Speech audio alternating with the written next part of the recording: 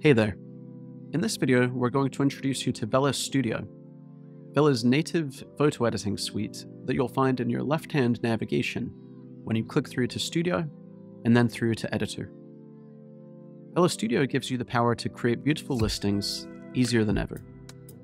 You'll see we have two options, which is to first search by title or SKU to work on existing photos, or we can upload directly from our computer if we want to start with something new. Let's search for one of our listings and get started. Once we've clicked on the listing, we'll see all of the images associated with this listing available for us to work with. So as we look to begin editing this particular image, perhaps first we want to remove the background. We'll find an option up top where clicking it, Vela will automatically remove even complicated backgrounds to highlight our product and give us a blank canvas to work with. We'll now see that that original background is removed, and if we want to restore it, we can simply click Restore and toggle back and forth. In this case, we want to remove it, where we'll see the next options at our disposal, one to add color, and another to add image. Under color, we can click on one of the existing choices, and if we double click, we'll be able to mouse over the color palette to create custom colors. We can also manually enter a hex code if we wish. In Add Image, we'll see that Vela has a list of curated choices arranged by category to make life easy.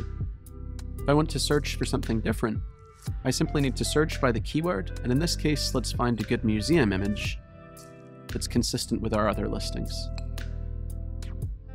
We'll see that image has been added, and to further refine it, we can also use the blur tool to ensure our product is properly highlighted. Next, we'll see the option to crop our image, where Vela has a group of existing presets according to the parameters on different social platforms. If we want to create a Facebook post, we can easily crop the image accordingly. In this case, let's stick with the original to continue going through our workflow. In the Refine tab, we'll find familiar options to update and adjust all of the different parameters of my image, as you'd find in many other photo editors. Below, you'll also find an existing set of presets or filters, where we can easily apply a consistent look to all of our library. In our next tab, we'll see the option to add text, where we might want to promote a particular campaign or highlight a particular feature. We'll see we can toggle between all different fonts. We can adjust the font size. We can adjust the font alignment line spacing, as well as the colors with the same interface we've seen before. Where if we double click, once again we'll be able to drag on the color palette to select a custom color, either through drag and drop or by entering a hex code.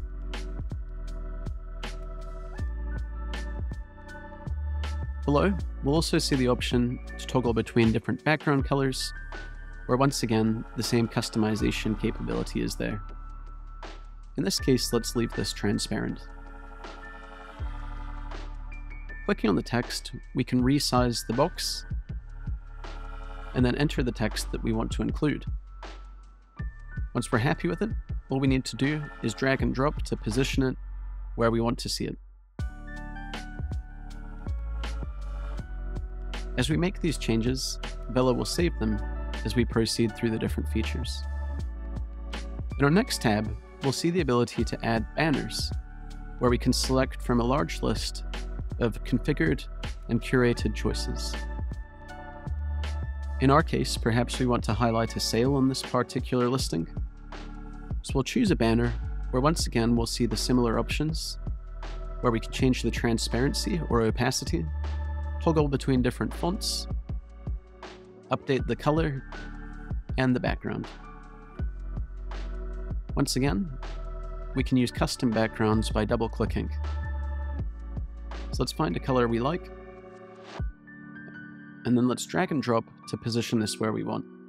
Where once again, we can resize where the text will automatically adjust to fit the size of the banner. We'll update the text, and once we're happy with it, that's all we need to do. So in this workflow, we've shown you how to remove a background, add a blur, add text, and add a banner, and we'll see with that green dot that our changes have been saved.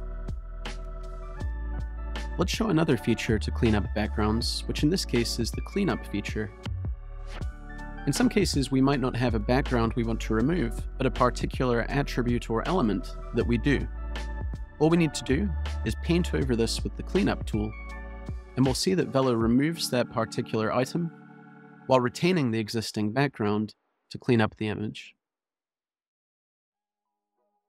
Make more precise edits, we can also update and adjust the brush size in cases where we might need to be a bit more precise.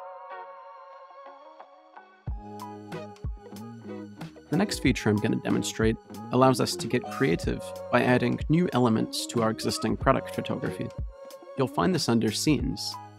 So let's first remove the background to get ourselves ready, where in this case, we're going to remove that original background, and we're going to replace it with one of the presets, in this case, a desk scene.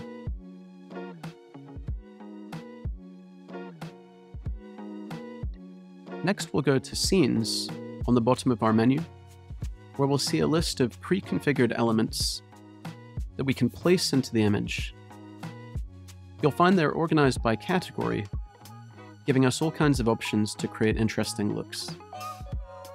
In this case, we'll select this uh, espresso cup, where we'll see we'll be able to resize it, as well as rotate it to give the image a natural look. We can add as many of these as we want. And note that up top, there's an option to upload, where if you have your own items or your own watermark or logo, you can add it here and apply the same changes. So we'll now see three green dots on the bottom of our screen on the images that we've worked with. Once we're happy with all of them, we can click Save where we'll have two options. One to update the listing photos immediately, where it will also save it to the library, or if we don't want to apply these to our listing immediately, we can click Save to Library, where they'll be ready for us to use in the future. In the library, we'll now see these new images available for us to use elsewhere.